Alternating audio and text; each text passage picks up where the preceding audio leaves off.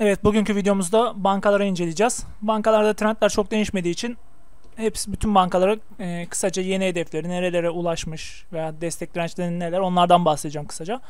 Ama önce her zaman hatırlattığım gibi tekrar hatırlatayım. Kanala abone olup videoları beğenirseniz bu tarz içeriklerin gelmesi açısından size faydalı olacaktır.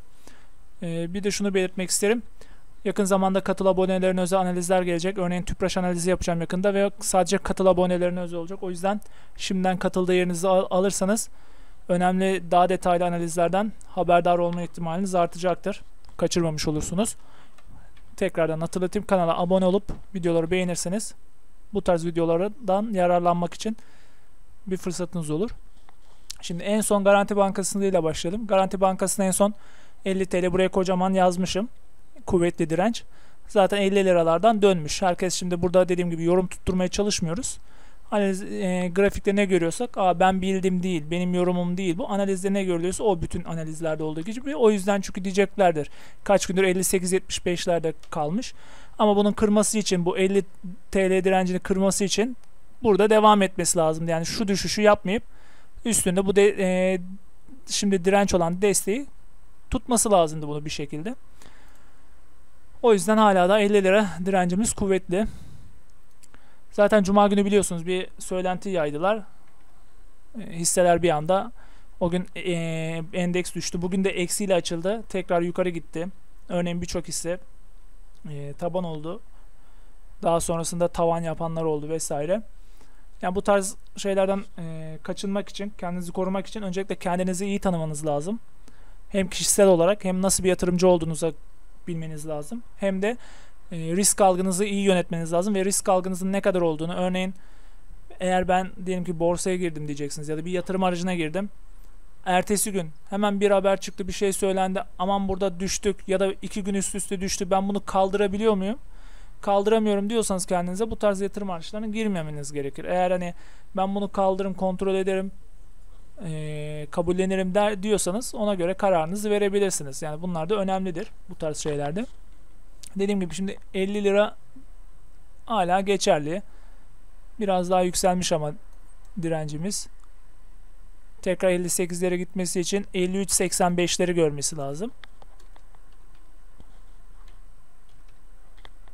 Direncimiz var. Buraya belki tekrar eğer endeks düzel tekrar düzelirse şu anda yüzde 2'ye yakın bir eksidi ama gene dünkü e, önceki kapanışa göre artıda kapatmış gene. Aşağıda da ilk desteğimiz 45.86. Burası takip edilebilir. 45.86'yı kırıp kırmadı. Çünkü bankalar iyi yükseldi ama daha şu anda ger düşüşünü gerçekleştirmeden illa düşecek anlamında söylemiyorum. Şu trendlere gene takılabilir bir süre daha bu şekilde gidebilir. Şimdilik destek dirençleri bunlar gözüküyor. Eğer uzun vadede daha da giderse 45'in altında 37.52 onu da yazalım 37.52 Evet destek dirençlerimiz bunlar şu anda garantiyle ilgili. Hemen bir sonraki bankamız Akbank'a geçelim. Destek dirençlerinden bahsedip zaten videoyu çok uzatmayacağım. Burada da bakın 30 TL kuvvetli direnç demişiz. 33 lira 66'dan dönmüş. Yani isabetli analizlerimiz var. O yüzden kanala abone olmayı unutmayın mutlaka. Burada şimdi direncimiz ilk direncimiz 31.58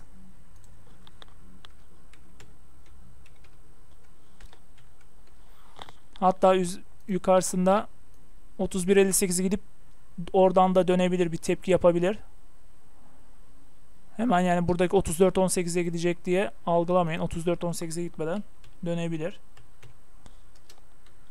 Her ihtimali düşünüp ona göre bu işte 31'e gidip buradan dönerse ne yaparım? 31'e dönecek deyip dönmedi 34-18'e gidiyorsa ne yaparım vesaire bunların hesabı kitabı yatırımcının kendisine kalmış. Bunları yapmıyorsanız zaten çok kötü taklaya gelirsiniz. Yir, bakalım burada da aşağıda da ilk desteğimiz 23.96. 23.96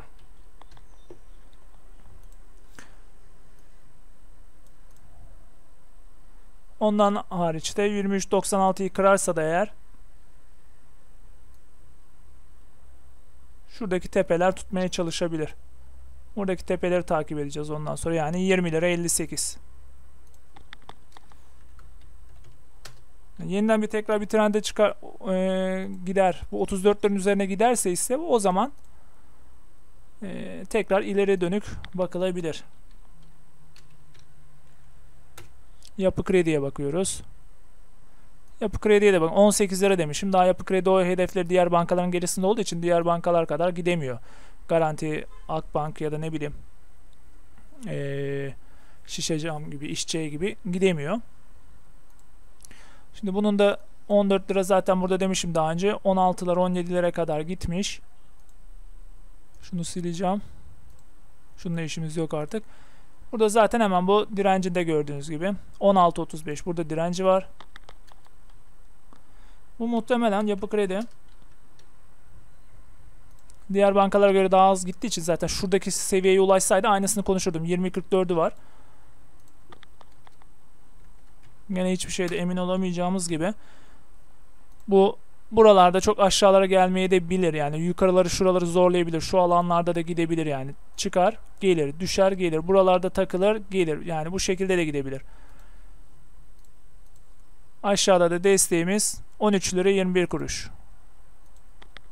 Çünkü diğer bankalar kadar gidememiş. Diğer bankalar hep e, dirençlerine gitmiş. Ha e, Ocak ayındaki o dolar bazlı seviyelerine gitmedi. O yüzden illaki gidecek daha seviyeleri vardır ama şu an için dirençlerine ulaşmamış yapı kredi. İşçiye bakıyoruz.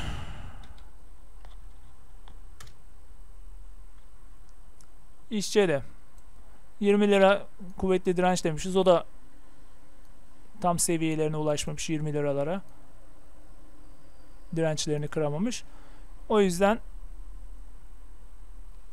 17 lira 31 kuruş. Burada desteğimiz, direncimiz pardon. 17 lira 31 kuruş.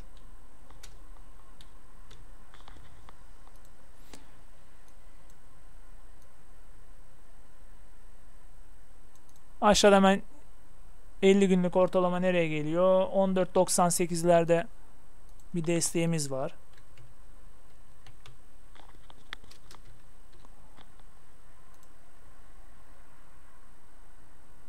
Burada bir 19.33 var.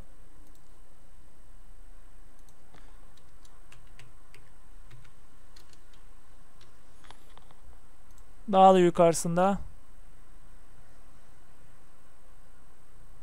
21 lira 60 kuruşu var. Yani 20 20 lira 21 lira 60 kuruş olmuş. Tabii bütün bu analizlerimizde şunu da unutmuyorsunuzdur umarım. Kendiniz de takip edebilirsiniz. Şimdi 21 lira 60 dedim. Bu yarın öbür gün giderse gider ama tutup ise Eylül ayında giderse 22 olur. Daha da yukarılarda giderse burada zaman yerse daha da ileri bir seviyeye gider.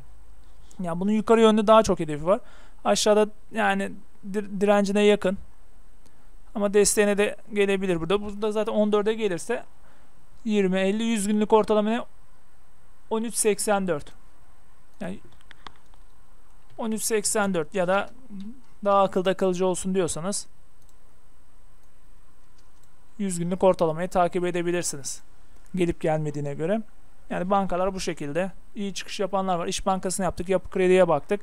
E, Garanti Akbank'a baktık. Başka banka kaldı mı büyük bankalardan? Şu an için kalmadı galiba. Dediğim gibi kanalda artık e, katıl üyelerine özel hisse analizleri gelecek. O yüzden kanala abone olup eğer katıldan e, özel analizlerden ya faydalanmak isterseniz de katıla üye olabilirsiniz.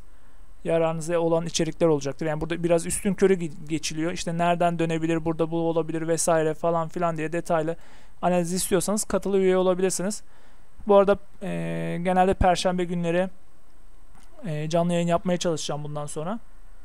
Eğer katılırsanız sevinirim. Tekrardan kanala abone olup videoları beğenmeyi unutmayın.